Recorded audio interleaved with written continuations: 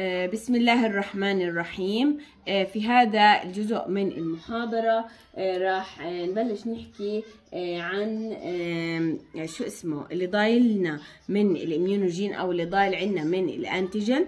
طبعا اللي ضايل عنا من ال antigen يا جماعة هو ال chemical nature لل immunogen طبعا إحنا شو اللي حكيناه حكينا إيش هم ال immunogenicity factor شو ال factors اللي بيعتمد عليها آه خلينا نحكي تكون ال antigen أو أو خلينا نحكي اللي بيعتمد عليها رد جهاز المناعة على ال antigen أو خلينا نحكي قوة ال antigen وقدرته على تحفيز جهاز المناعة.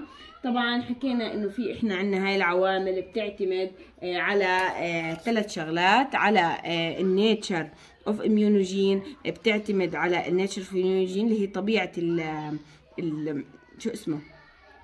اللهم صل على محمد آه، طبيعة ال antigen نفسه من حيث الفورينس السايز الكيميكال كومبوزيشن الفيزيكال فورم والديجرابيليتي آه في عنا كمان آه ال factor الثاني اللي هو آه بيعتمد على ال biological system اللي هم ال genetic وال age. آه في عنا ال factor الثالث أو مجموعة العوامل الثالثه اللي بتعتمد على ال mode of administration اللي هم ال dose وال route وال adjuvant اللي هم حكينا آخر شيء هلا آه كان في بس هيك ملاحظة صغيرة بالنسبة لموضوع ال degradability حكينا آه يمكن أنا خربطكم بالنسبة لل degradability هلا كل ما كان ال antigen آه، قادر على آه، أو بتقدر إنها خلايا البلعمه تبتلعه حتى تعرضه على ال T cell بتكون استجابة الجسم له أحسن واستجابة الجسم له آه، أسرع.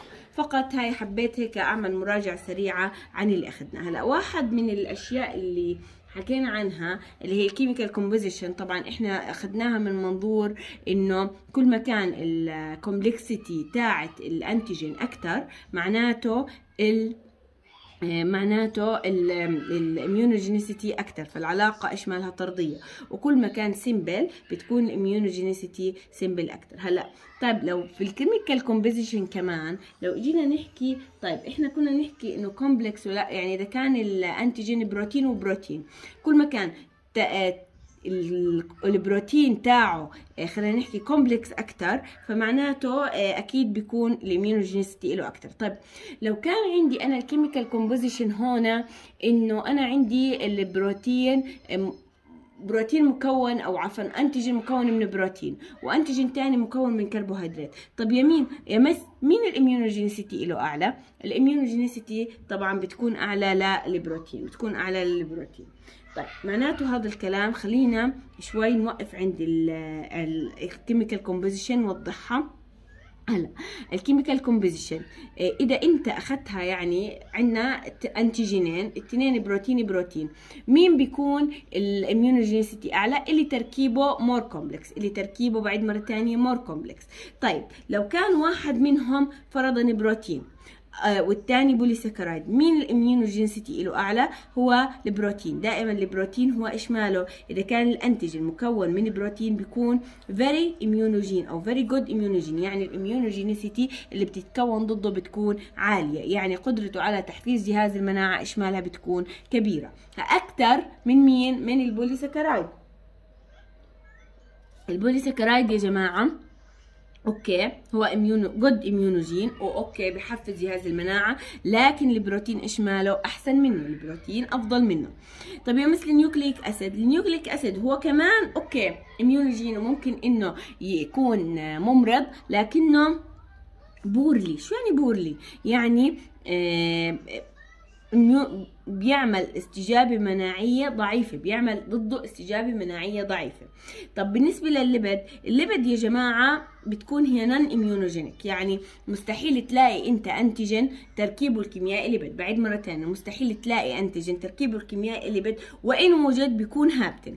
وإن وجد إيش ماله بيكون hapten يعني بيكون ضعيف يفتقد إلى خاصية ال immunogenicity إلا إذا ركب معاه carrier فبناء على هذا الكلام نرجع أنا وياكم لل chemical composition طالما بنحكي إحنا على ال chemical composition ك factor بيأثر على ال immunogenicity دائما. البروتين أكتر إشي. بعدين الكربوهيدرات أو ال polysaccharide بعدين ال nucleic acid وال lipid أصلا حكينا إيش مالها non immunogenicity يعني أصلا ما بنحطها ضمن التصنيف. طب يا miss شو الإشي اللي أنت حكيتي لنا إياه؟ آه، في يعني في قبل هيك إنه عن ال complex وال hapten هلا بنيجي ضمن النوع الواحد. إذا أنا كان عندي بروتينين واحد A واحد B واحد تركيبه أكثر أو تركيبه more complex than other بيكون هو ال most immunogen. أن أما إذا أنا بدي أقارن بروتين مع كربوهيدرات مين اللي بيكون عندنا أكثر immunogenicity تاعته؟ البروتين. طب لو مثلا كانوا اثنين كربوهيدرات يعني مثلا ال antigen هذا مركب من كربوهيدرات وهذا مركب من كربوهيدرات. مين immunogenicity له أكثر أكيد كمان نفس الشيء اللي بيكون more complex بيكون هو الاعقد طبعا أنا بس هنا حتى الفكرة تضلها موجودة عندكم واضحة. شو حكيت لك؟ هذا الترتيب حسب ال immunogenicity من الموست للليست. أول شيء عندنا أقوى شيء البروتين بعدين عندنا ال polysaccharide بعدين عندنا ال nucleic acid وبعدين عندنا ال lipid اللي هو حكينا not immunogen لكنه في بعض الأحيان ممكن يكون hapten وال hapten أصلا يفتقد إلى خاصية ال immunogenicity إلا إذا إيش؟ إلا إذا كان معاه carrier طيب وبعدين نيجي نحكي إنه هلا إذا أنا بدي أقارن protein antigen مع protein antigen تاني. يعني إذا أنا بدي أقارن مثلا A اعتبره إنه protein antigen و B اعتبره إنه protein antigen كمان. مين يا miss فيهم الأقوى؟ الأقوى هو مين؟ هو ال more complex. هو إيش ماله الأعقد. الأقوى هو الأعقد. الأقوى هو الأعقد. بتمنى تكون هاي الفكرة صارت واضحة عند الجميع وهذا طبعا هو الكلام الموجود عندي هون.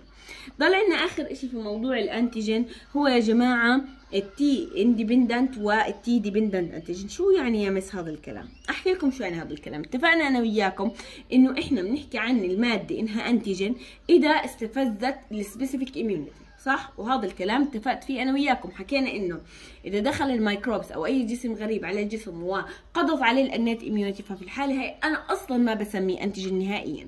معناته ال antigen بده يستفز شو؟ جهاز specific immunity حكينا أنا وياكم قبل هيك إنه ال specific immunity هي عبارة عن ال innate immunity وعن acquired immunity عبارة عن عفوا ال acquired immunity أو ال specific immunity عبارة عن humoral و cellular مزبوط حكينا ال humoral اللي هي لها علاقة بال B cell وال cellular لها علاقة بال T cell هلأ هون إذا أنت بتحكي عن T independent antigen يعني antigen تمام؟ آه بيستفز مباشرة أو بيعمل stimulation مباشر لمين؟ لل B cell يعني بشجع ال B cell إنها تصنع antibody وبتقدر هذه هذه ال B cell إنها تقضي عليه بمجرد أو آه بال antibody اللي كونتها. يعني بيكونوا ال antibody اللي كونتهم ال B cell قادرات على إنهم يقضوا على هذه على هذا ال antigen قضاء نهائي بدون الاستعانة بال T cell بدون الاستعانة بمين؟ بدون الاستعانة بال T cell بدون الاستعانة بمين؟ بدون الاستعانة بال T cell نهائيا. اذا بعد مرة ثانية من دون الاستعانة بال T cell نهائيا. بعد مرة ثانية بدون الاستعانة بال T cell نهائيا. تمام؟ بينما لما أنت بتحكي على ال T dependent antigen هلأ ال antigen في هاي الحالة آه، بيكون بتكون ال B cell غير قادرة لحالها على القضاء عليه. يعني ال antibody غير قادر على إنه يقتل ويخلصنا من هذا ال microbes غير عبين ما يستعين بال T cell غير عبين ما يستعين بال T cell هلأ دائما ال antigen المكونة من ال polysaccharide آه، ممكن ان ممكن إن نحطها تحت ال T independent antigen لكن أغلب ال antigen اللي هي تركيبها الكيميائي بروتين أصلا لأنها هي بتكون قوية فبتحتاج ل آه، خلينا نحكي جهد مكثف من البيسل والتيسل حتى يتم القضاء عليها. بعيد مرة ثانية أنا في عندي تصنيف كمان لل antigen. شفتوا صرنا مصنفين ال antigen أكثر من تصنيف. في التصنيف هذا إيش بيحكي لنا T independent antigen T dependent antigen T independent antigen هي antigen قادر ال B cell إنه عن طريق ال antibody اللي بيفرزها إنه يقضي عليها نهائيا ويقضي عليها لحاله من غير الاستعانة بمساعدة ال T cell ومثال عليهم أو أغلب أنواع ال antigen اللي بتنتمي تحت هذا الإشي بتكون بتكون هي إيش مالها؟ بتكون ال polysaccharide antigen طيب أما ال T dependent antigen فهي عبارة عن antigens ما بيقدر ال B cell إنها تقضي عليها لحالها. لازم إنه أو بتحتاج خلينا نحكي لمساعدة من ال T cell. فهذه ال antigen بتكون بالأغلب تكوينها إيش ماله بروتين بتكون بالأغلب تكوينها بروتين. بس هذا طبعا لا يعني إنه في بعض ال antigen يكون تكوينها بروتين وتعتبر T independent antigen لكن بالمجمل ال antigen لتركيبها كربوهيدرات تنتمي لل T independent antigen وال antigen لتركيبها بروتين تنتمي لل T dependent antigen هاي يا جماعة اللي آه آخر المعلومات عنا عن الأنتيجين. بنكمل في آه يعني آه من كم هيك بكون خلصنا هذا الجزء من المحاضرة.